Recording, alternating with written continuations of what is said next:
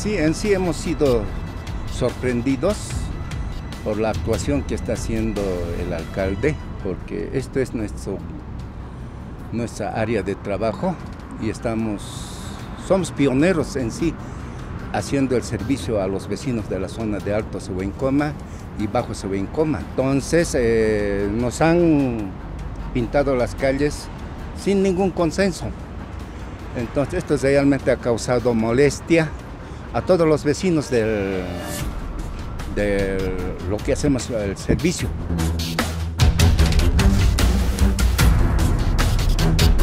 Eh, en sí pues, está, pues, eh, nos perjudica porque estas debe ser dos, tres vías o dos vías, no tenemos donde tener un solo acceso.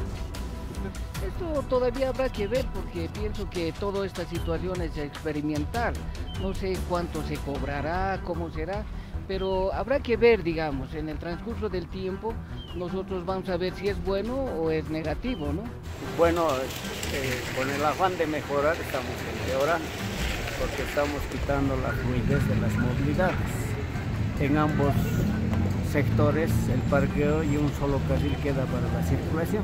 Eh, bueno, estoy de acuerdo con que reorganicen y pongan orden en la ciudad, pero tampoco estoy de acuerdo que quieran hacerse dinero a costa de la necesidad de, en especial de los padres, ¿no? Que venimos a dejar y a recoger a nuestros hijos.